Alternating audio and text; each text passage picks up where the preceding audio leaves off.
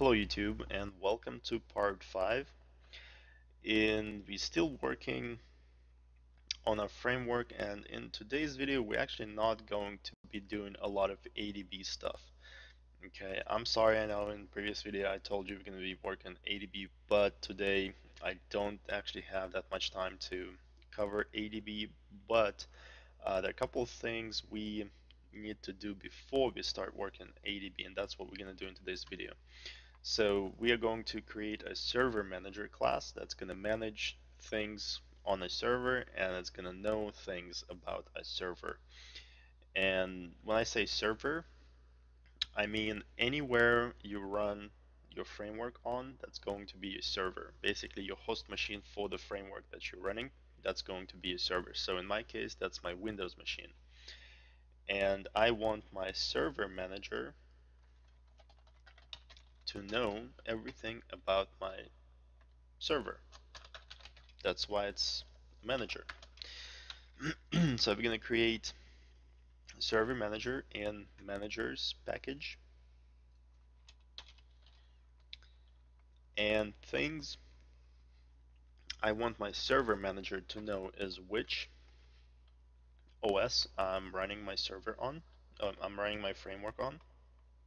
So I'm going to have public static and it's going to return a string. I'm going to say get OS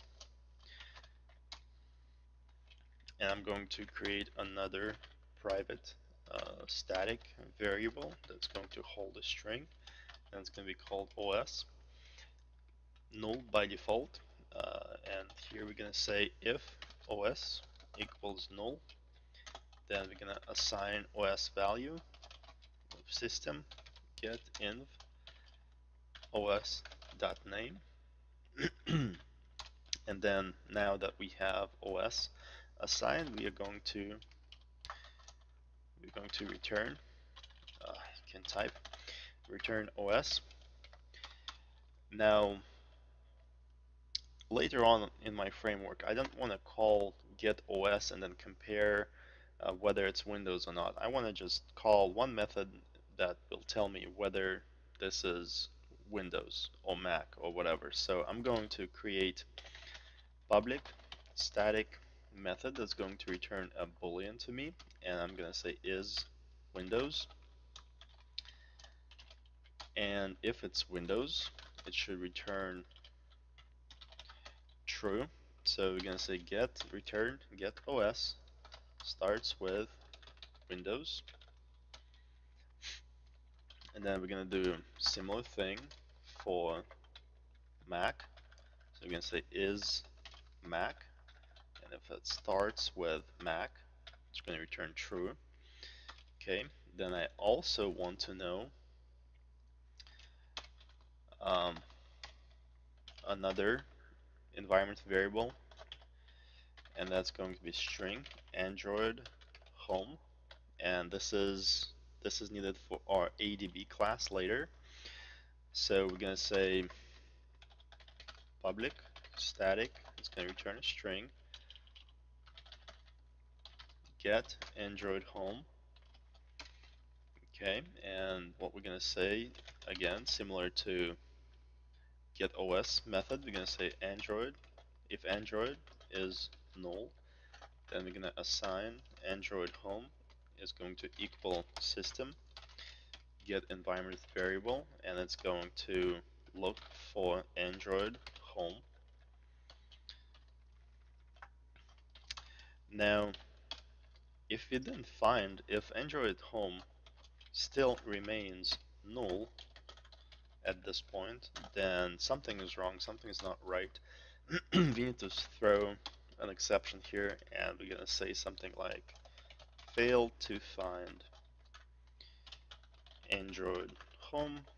Make sure the environment variable is set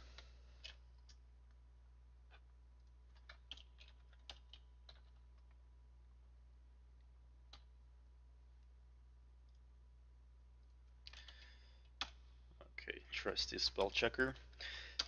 and then once that's done okay we're going to return Android home if everything is if everything was successful if we were able to find our Android home variable it's going to return that variable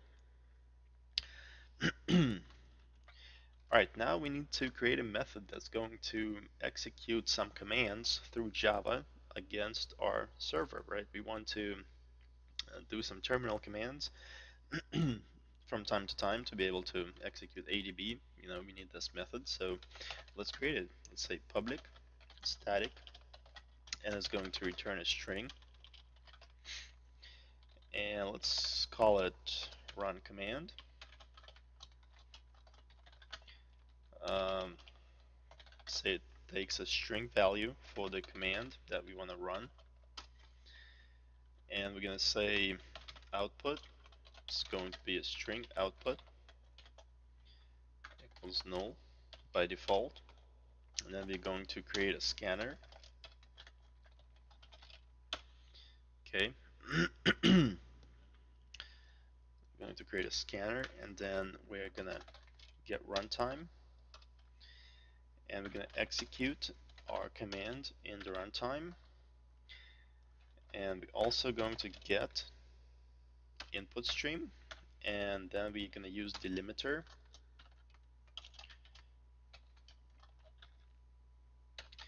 okay and we're going to say if scanner has a value then we're going to assign it to our output Alright. Now we do have an error here that can be thrown and because you know we're probably going to be using this method a lot and not to handle this error in the signature because that's going to ask us to handle it later in the methods that we use this method in as well. So I'm just going to wrap it in try catch and this is IO exception and I'm just gonna throw a runtime exception instead. Oops.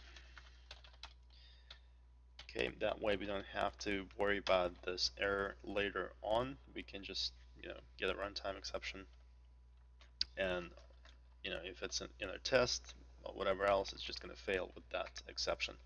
But we don't actually have to handle it later in. So and we're going to return an output at the end if everything is good. So we're going to return this output. Okay, now let's go to our ADB class and let's create a method that's going to run our commands in ADB. this is the last for for this video this is the last thing we're gonna do so let's say public static, call it command. So when we reference it, it's going to be adb.command. Um, it's going to return a string to us, and it's also going to take a string as an argument, and that's going to be our command. um, so we're going to check if our command starts with adb.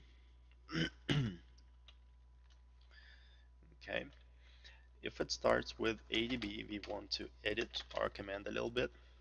So we're going to say command dot replace. We know it starts with adb so we're going to replace adb with server manager get android home and then we're going to put the uh, location of our adb which is in platform platform tools. And ADB is the executable. Alright now then that we have it. And then if it's not starting with ADB um, we're gonna throw runtime exception. We're gonna say this method is designed to run ADB commands only.